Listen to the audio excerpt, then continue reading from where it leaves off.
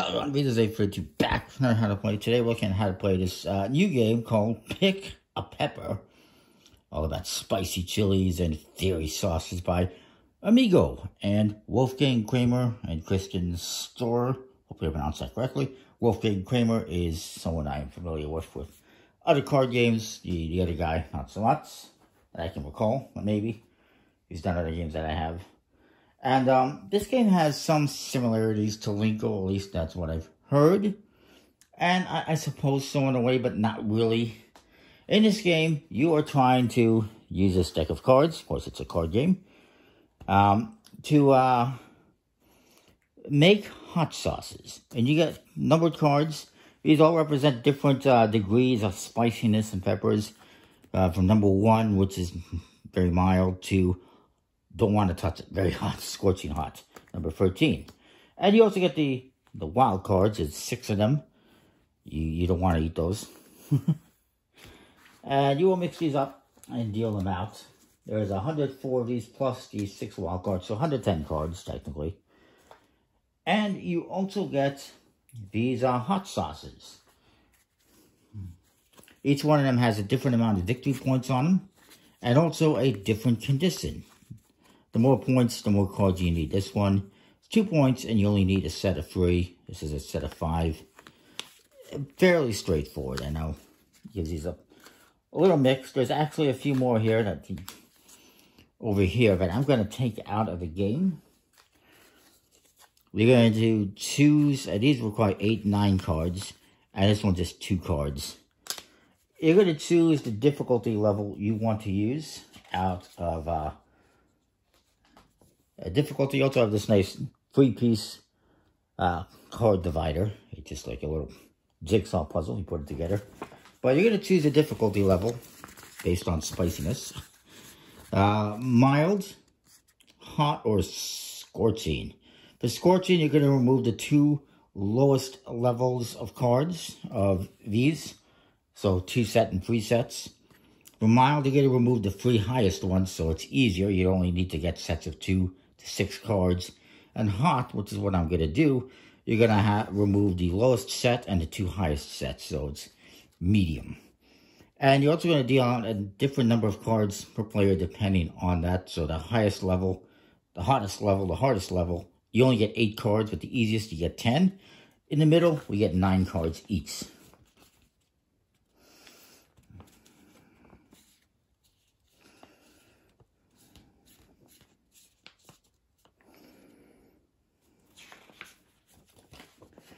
And and basically this is all about a famous hot sauce cooking competition at the Fuego Festival, which of course means hot. You're trying to create the hottest collection of sauces to win cooking competition. And what you're going to be doing is collecting and playing cards in phase one. And then the second phase, you will hopefully try be trying to get these hot sauces. And you're going to be playing up until you get a certain amount of these. That is dependent on the player counts uh, which it says here what it is. So in hot, two players, you'll, you need to collect six sauces. Three players, you need five sauces, and so forth. And I'll probably just do a little two-player game here, just to show you a little bit.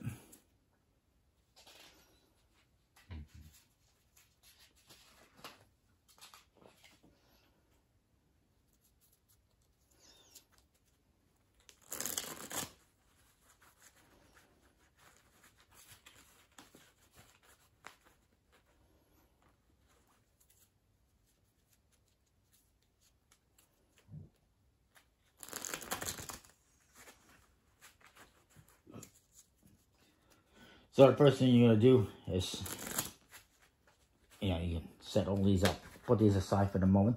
You also get this uh, spoon. This is going to go to whoever is the first player. You give it at the start of to whoever last ate something spicy.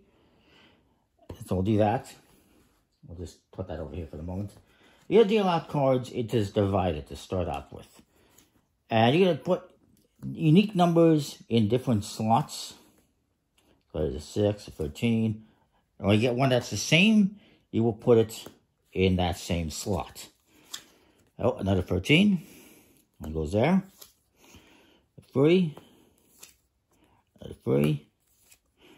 Ideally, you, you want to see, you know, two or three. You don't want just one of each kind, because that's not as much fun.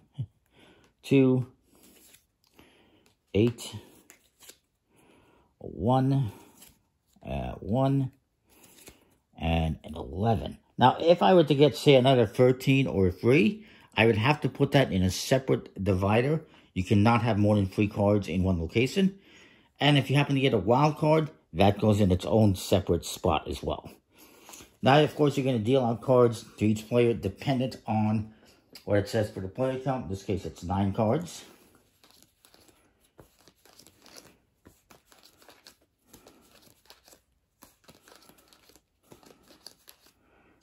And uh, this game, as I mentioned, it just came out this year here in North America. It just came out recently.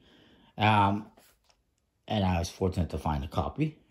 It, it might be more readily available by now, by the time this video is being released. But when I first got it, there's really only one spot I found it. and um, but it was originally released last year in Germany with a German name. I think it was Saswolf or something like that. I apologize for butchering it. Anyways, each player gets this hand of cards. Going to look at them. And on your turn, you're going to decide to play. You got two phases. This is phase one. And each player is going to decide to play a card or a set of cards. So if I want to, I can play three 11s. Or I can just play, let's say, a 7. Or maybe I play a 12. And actually, whoever has this would obviously play first. And now, my opponent's looking at that, and he says, you know what? I'm going to play the wild card. The wild card counts as basically a 13 and a half when played individually. So he wins, and they will get to select one of these sets of cards first. So maybe they selected three 13s. And they're going to take this and they're going to put it into their ingredient pile for the second phase. This card, they can then either discard or they can put it in their ingredient pile to save. And obviously, it's a wild card, they're going to save that. And then I'm going to choose. And obviously, uh, since they won, they get this spoon immediately. I'm going to choose, let's say, the free freeze. Now, do I have freeze in my hand? I don't, which is fine. Maybe I should have taken the 11s. And I will save this one as well.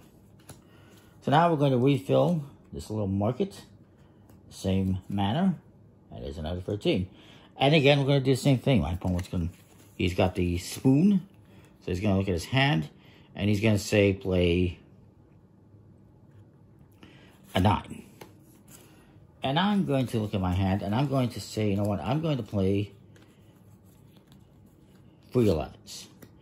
Now, to determine the winner, you're going to look first at who played the most cards. Whoever played the most cards wins and gets the spoon immediately. If more than one person plays the same amount of cards, like in the first round, I don't remember what I played. I played a 12, and they played the wild cards, so because they played the highest card, they win. So you're going to look at first who played the most cards, and then you're going to look at highest value. So in this case, had they played three sixes, I would still win because I played the higher value set, uh, even though they played three sixes. But if they just played, if I'd played, you know, something different, well, if I played, let's say, two 11s, and they played three sixes instead of the nine, they would win because they played more cards, even though 11 is bigger. So that's how you go about that. And so I'm going to select, you know, one of these sets or, you know, one of the cards. There's not too many. I'm going to select the 11 because I played 11s. And I'm going to put that there and I'm going to save these. And then my opponent's going to do the same thing. And you can always look at this. So they say, you know what, I'm going to take the 13. And they'll save us. And now you refill the market. There's another 9. And there's a wild card. And you just keep doing this until players no longer have any more cards in their hat. Once all the cards are in have either been discarded. And again, when you play a card and you take from here, you can take these and put them in the ingredient deck. And then this, you can take, put in the ingredient deck, or you can discard it. There's a third option, and that is, let's say my opponent plays this card, let's say they don't want any of these cards. They can simply discard this one and not collect any cards. Or put it in your ingredient deck, if they want. So you do have the option of not taking any cards. But after you go through the first phase, you will refill the market. And now you're going to bring these out. You can mix them up. It's for the second phase. Once you've gone through all the cards that are in your hand and they're all in your ingredient deck. And you're going to put out two more than there are players. So with two players, you're going to put out two plus two. Four players, you're going to put out four plus two. So there's going to be six for four players, five for three players, and four for two players. And as you continue going through the rounds, whenever these get taken, you get to um, replenish them, obviously. And you have a max amount that you can have. So with, in this case, we're doing mild with uh, two players, or hot with two players. So we're going to be trying to collect six sauces. Whoever, whenever somebody collects six sauces, or both players have collected six sauces, the game ends. That's the max amount you can have. And it works the same way. So I'm going to look at my hand, and I'm going to say, you know what, I'm going to play... Ooh.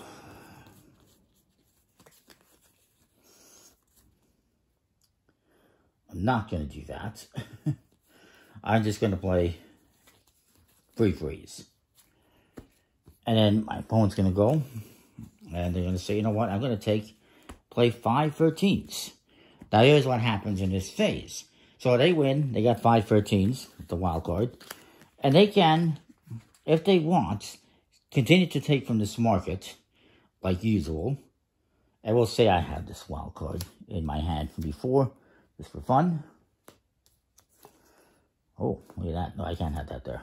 So that's what happens when you have when you have a fourth or a fifth card of the same value, it goes into a separate pile. So anyways, in this case, they played five 13s. They won. They're going to get the spoon. And they're going to say, you know what? I'm going to take this. Did I have a 6 13? They don't. And they're going to collect this for points. And these ones have to be discarded now. They're out of the game.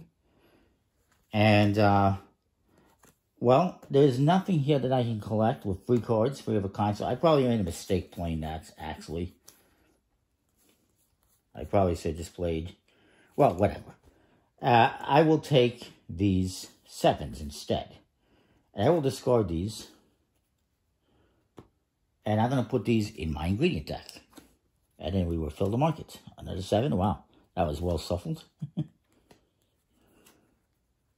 now we deal out another one of these. And hopefully somebody can play a five of a kind. Uh, ideally, you, you're going to have five of a kind. And you keep doing this back and forth, playing cards, trying to acquire these sauces, these awards, if you will, for spicy sauces. And until you hit that amount, whatever it is for the player count and spicy level that you're using. And then you will add up the points. Whoever has the most points wins. It's fairly straightforward game. Uh, I like it. Good quality components. No complaints. Nice quality cards, win and finish. Uh, these are nice. And yeah, it's probably better with more players than less. And I and I know it says it's two to four players. You could probably play five players, I would imagine, but you'd have to alter how many cards and stuff like that. But I think it's probably better with three or four players than two. Just my feeling, but that is that. Pretty cool game. I like it. Hopefully, it's more available at this point. That is that. Pick a pepper. Comment, like, subscribe. Let know what you think. Hopefully, that makes sense. We'll see you next time. More thanks for watching.